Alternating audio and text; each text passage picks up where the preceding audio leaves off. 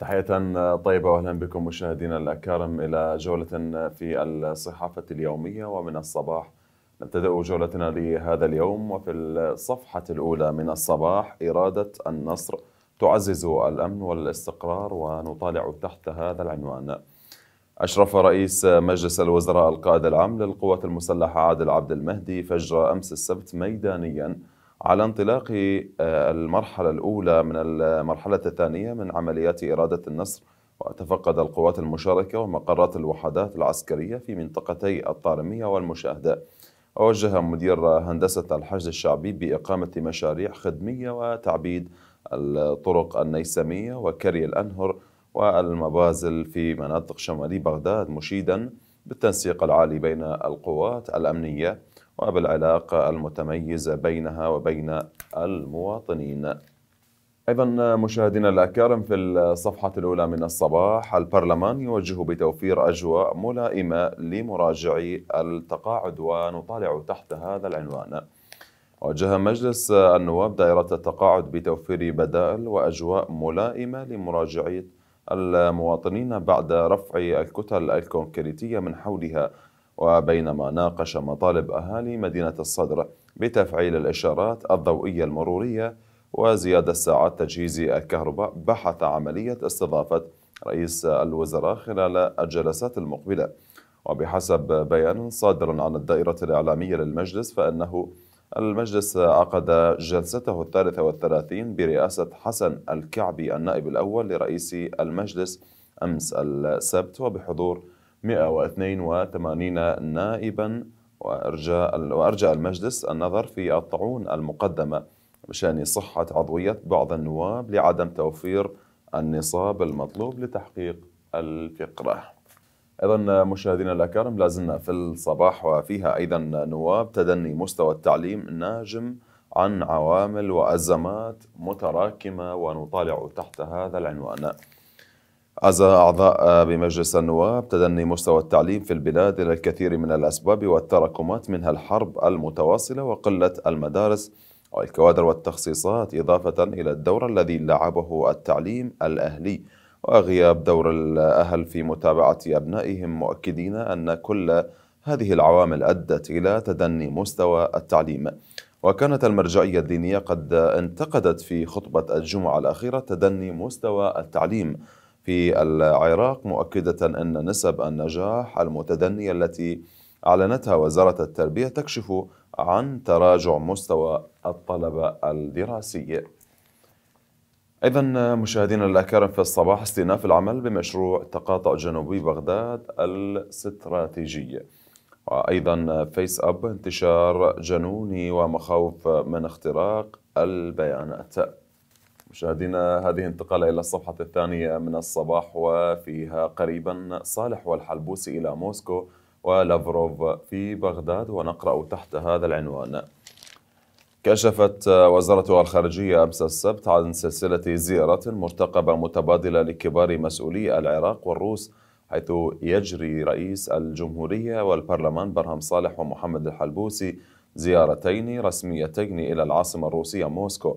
بينما تترقب بغداد زيارة مهمة لوزير الخارجية الروسي سيرجي لافروف.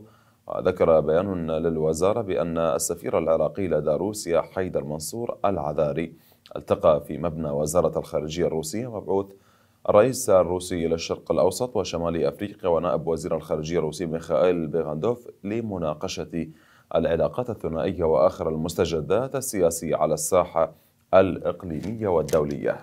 أيضا مشاهدينا الأكارم في الصفحة الثانية من الصباح رئيس مجلس النواب يؤكد ضرورة العمل لتلبية احتياجات المواطنين. أيضا الكعبي توجيهات لتحرك الاقتصاد الوطني بمشاركة القطاع الخاص ونقرأ تحت هذا العنوان. أفاد النائب الأول لرئيس مجلس النواب حسن كريم الكعبي بأن هناك توجهات لتحرك الاقتصاد الوطني بمشاركة القطاع الخاص المحلي. عبر آليات عملية وسريعة. مؤكدا عزم البرلمان على تشريع قانون خاص باتحاد رجال الأعمال وتنظيم عملهم.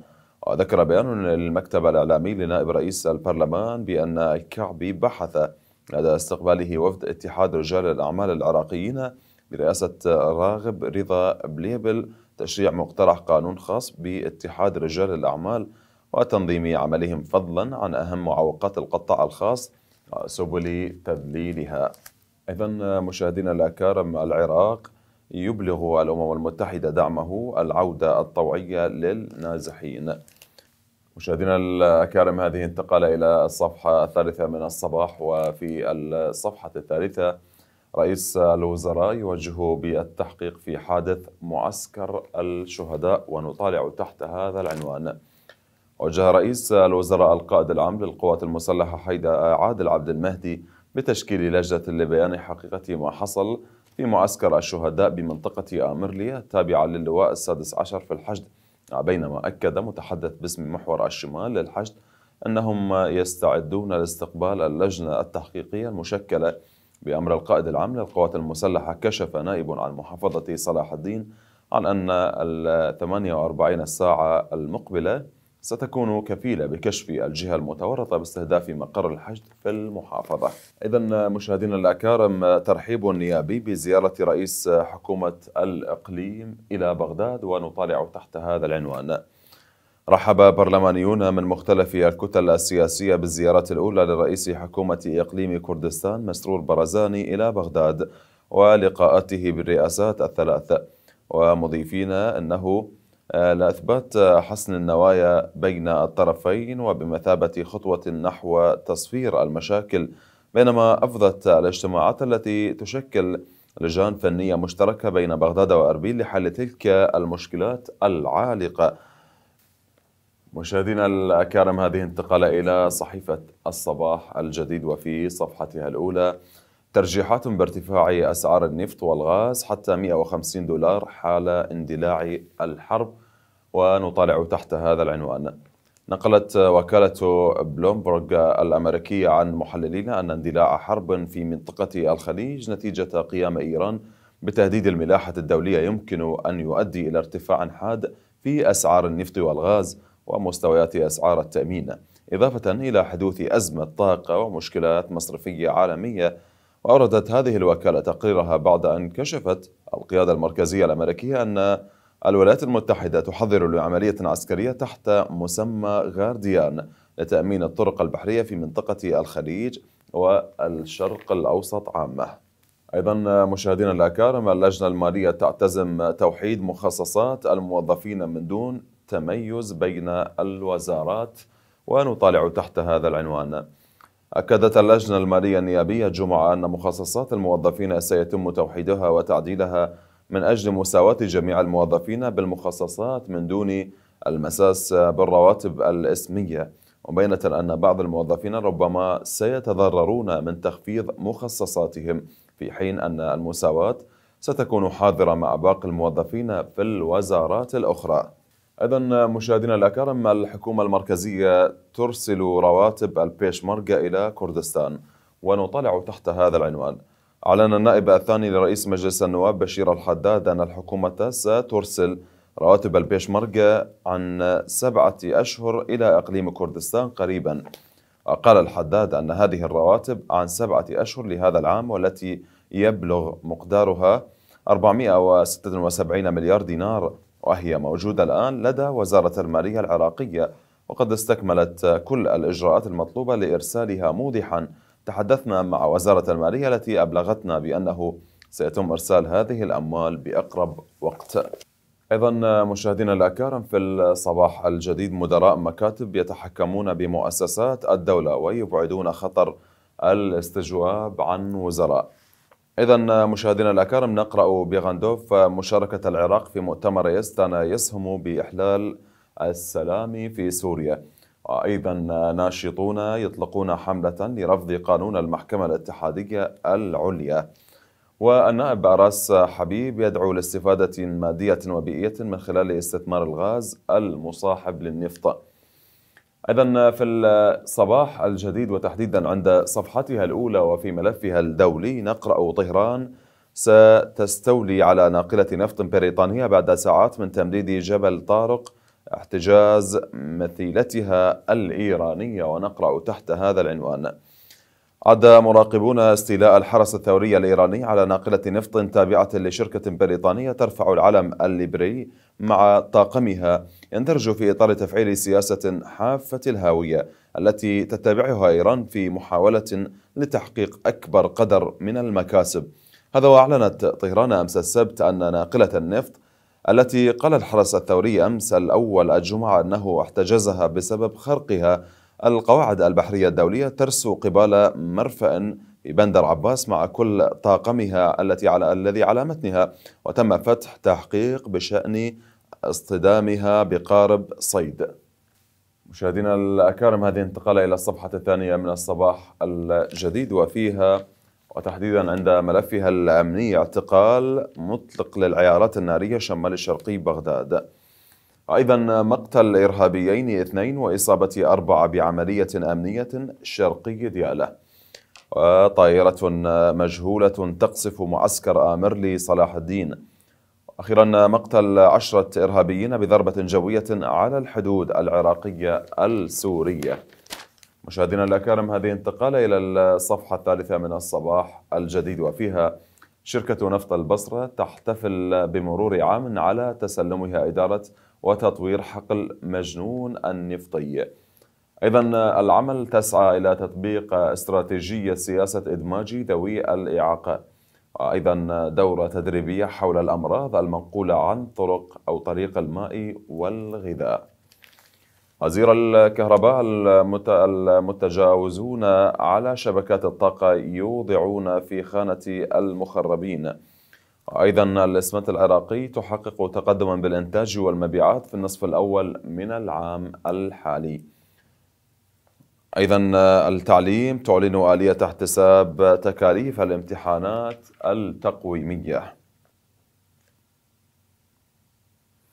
مشاهدينا أيضا في الصباح الجديد إعادة افتتاح خطبة بالشرقي مدينة الصدر شارع الداخل. أيضا المعارضة العراقية تبحث مشاركة فرنسا في دورتها الدولية المقبلة.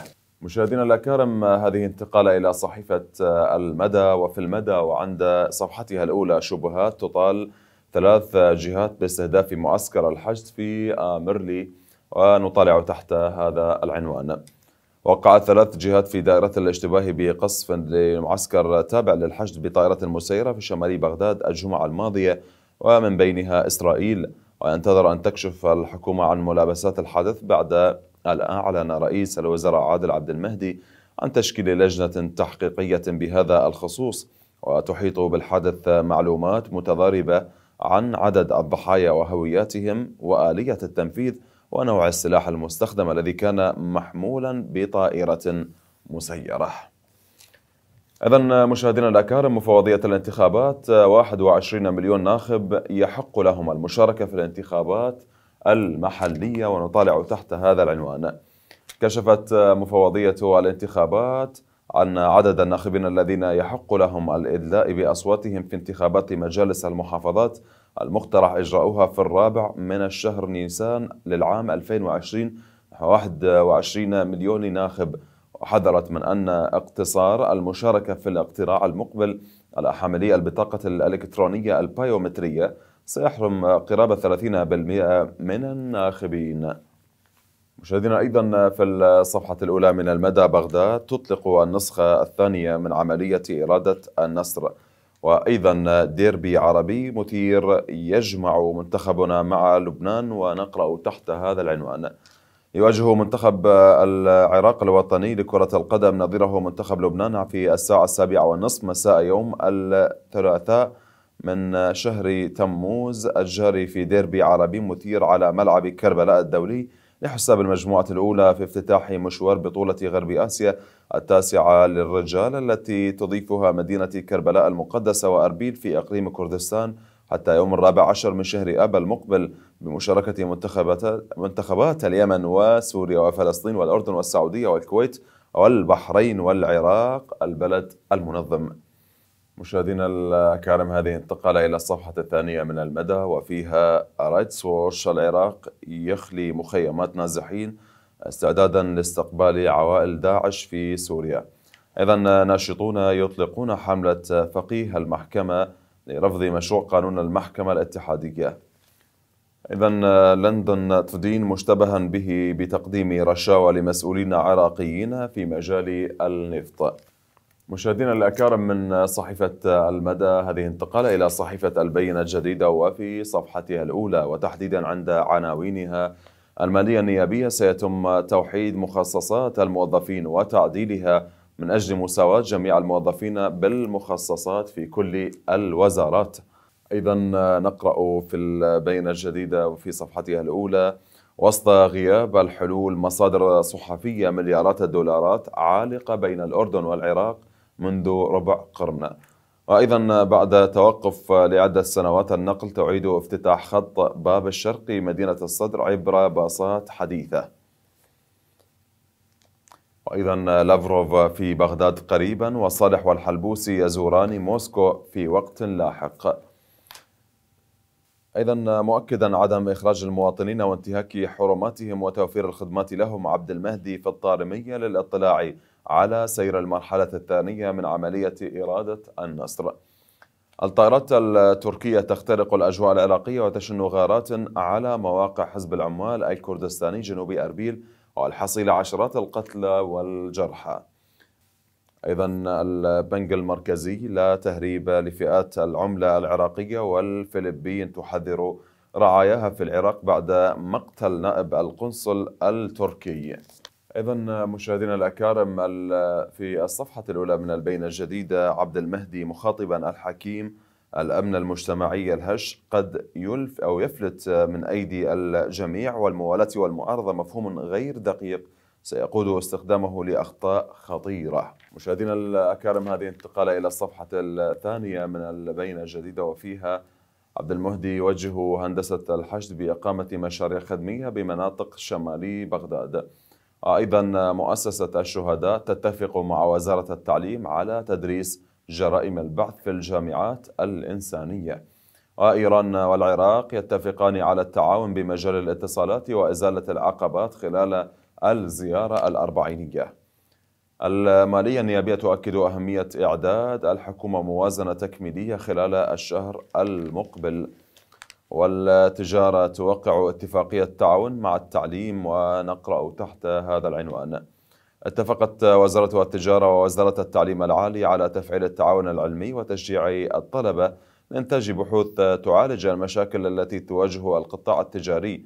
قالت وزارة التجارة في بيان نقلا عن رياض الهاشمي مدير عام دائرة القطاع الخاص بأن دائرته وقعت اتفاقا مع جامعة النهرين كلية اقتصاديات الأعمال يهدف إلى تنشيط وتفعيل التعاون بما يخدم تطور القطاع التجاري والاستفادة من أفكار الطلبة وبحوثهم التي تهدف إلى الارتقاء بهذا القطاع الحيوي. إذا مشاهدينا الأكارم الاستخبارات العسكرية الإطاحة بمجهز الدواعش بالأسلحة في الموصل ونطالع تحت هذا العنوان. أعلنت مديرية الاستخبارات العسكرية عن اعتقال مجهز الدواعش بالأسلحة والمعدات الفنية بعملية أمنية في الموصل وقالت المديرية أن مفارز شعبة الاستخبارات العسكرية في الفرقة الخامسة عشر وبالتعاون مع لواء المشاة 60 الفرقة 20 قيادة عمليات نينوى تمكنت من ملاحقة إرهابي مكلف بشراء الأسلحة والمعدات الفنية للدواعش عبر أو بعد هروبه من منطقة إسكان في قرية أم الذيبان إلى قرية الشمالات التابعة لقضاء البعاجي في الموصل. وأيضا نقرأ لواء بالحج داعش يخطط لاستهداف قوافل الحجاج. مشاهدينا الأكارم هذه انتقال إلى الصفحة الثالثة من البينة الجديدة وفيها التربية النيابية. عبد المهدي أرسل عدة أسماء مستقلين لشغل المنصب الوزاري الشاغر. والنصر يدعو لإجراء تحقيق رسمي بحادثة الاعتداء على معسكر الحشد في آمرلي. وأيضا نقرأ نائب يعلن الاتفاق على إعادة مشروع قانون علاوي بيع الخضار إلى الحكومة لتعديله. وأيضا الدهان يشيد بدور وفد هيئة الإعلام باجتماعات مجلس وزراء الإعلام العرب. والبنتاغون ينفي استهداف القوات الأمريكية للحشد في العراق. أيضا نقرأ مجلس الأمن الوطني برئاسة عبد المهدي يناقش صرف مستحقات موظفي المناطق المحررة. أيضا مشاهدينا الأكارم مصدر العقوبات الأمريكية شملت سبع شخصيات عراقية وترجيحات بإعلان أسماء غير متوقعة. ولا هنا وصلنا وإياكم مشاهدينا الكرام إلى ختام جولتنا في الصحافة اليومية. إلى أن نلتقيكم تقبلوا تحياتي ونذكر أنكم تستطيعون متابعتنا على مواقع فيسبوك وتويتر وإنستغرام ويوتيوب. إلى اللقاء.